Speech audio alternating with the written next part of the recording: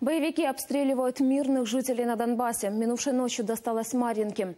По жилым кварталам били из гранатометов и крупнокалиберных пулеметов. В этот раз обошлось без жертв, продолжит Ирина Баглай. Що я тут заряджав РПГшний, РПГ СПГшним зарядом. Чуть-чуть гахнула міна за метр 30.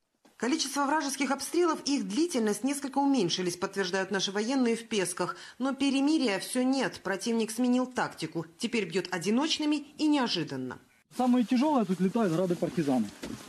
Работает также по нам мины. А сейчас очень интересненько делают. Они с РПГ скручивают, накручивают мины. То есть на небольшое расстояние просто с РПГ валят минами. И довольно-таки прицельно действительно бьют. Уже три года на войне боец с позывным «Шахта». Выбрал его не случайно, в мирное время 10 лет добывал уголь.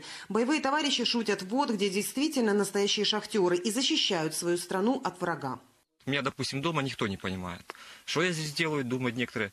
Там, за деньги я пошел воевать. Или мне чего-то не хватает, какого-то адреналина. Нет. И даже маленькая единица, мне кажется, способна что-то поменять к лучшему. По ту сторону линии фронта противник поделил территорию. Ближе к украинским окопам в захваченном селе Жабуньки местные боевики. Они все больше роют окопы, огонь же ведут хаотично, чаще по ночам. Трассера, як простреливают они А как это начинается? по несколько раз на ночь. А вот ближе к окраине Донецка больше промышленных объектов. Есть где укрыться. Там уже боевые группировки хорошо оснащенных военных спецов. Своими действиями, слаженностью и точностью выдают подготовленных кадровых российских военных.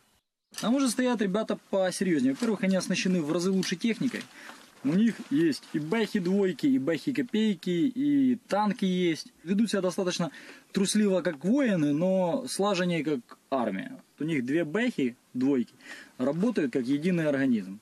Ту-ту-тух, ту-ту-тух, ту-ту-тух, ту-ту-тух. И геть без паузы и одинаковые постоянно, нету профтыков и тому подобное. Бэхи давние, правда, потому что иногда выходят из строя.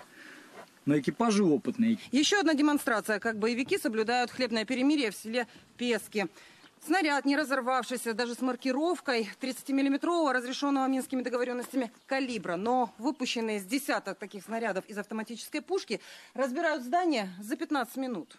Закопаться, перегруппироваться, потянуть силы. Так паузу в боях используют боевики, пока наши солдаты неукоснительно придерживаются объявленного перемирия. А вот для украинских пехотинцев малейшие попытки провести инженерные работы сродни спецоперации.